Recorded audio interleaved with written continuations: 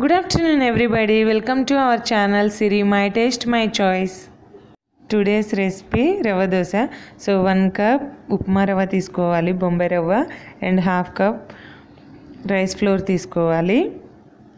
And one fourth cup వచ్చేసి మైదా తీసుకోవాలి. And one spoon salt సన్నగా తరిగిన ఒక కప్పు ఉల్లిపాయలు అండ్ సన్నగా తరిగిన నాలుగు పచ్చిమిర్చీలు సన్నగా తరిగిన కొత్తిమీర అండ్ వన్ స్పూన్ జీలకర్ర.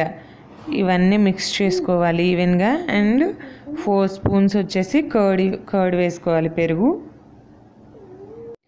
సో బాగా మిక్స్ చేసుకోవాలన్నమాట. ఇప్పుడు కొద్దిగా వాటర్ యాడ్ చేసుకుందాం. ఎందుకంటే ఇది లమ్స్ లేకుండా మనం కలుపుకోవాలి.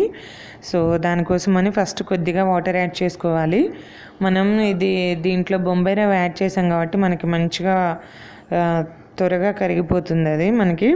సో ఇది దీనికి వాటర్ ఎట్లా యాడ్ చేసుకోవాలంటే మూడింత సో మనం ఇలా మనం మజ్జిగ ఎలా అయితే తయారు చేసుకుంటామో అలా వేసుకోవాలి. వేసుకొని ఒక అర్ధ గంట సేపు నానబెట్టేసుకోవాలి.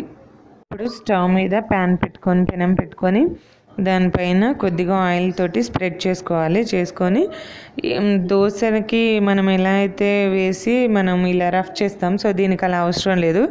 జస్ట్ ఇలా లైట్గా మనం పిండిని కొద్ది కొద్దిగా తీసుకొని ఇలా ఈవెన్గా స్ప్రెడ్ చేసుకోవడమే.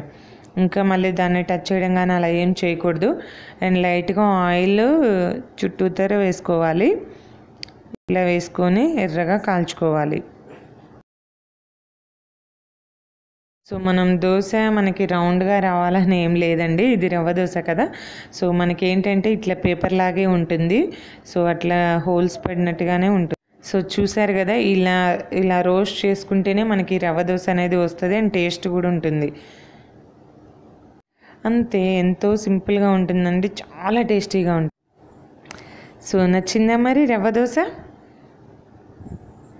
సో నచ్చిందా మరి? నచ్చితే తప్పకుండా కమెంట్ చేయండి ఓకేనా? Thanks for watching please like and subscribe my channel and click the bell icon. Next వీడియోలో మళ్ళీ కలుస్తాను బాయ్ అండ్ చెక్ కేర్.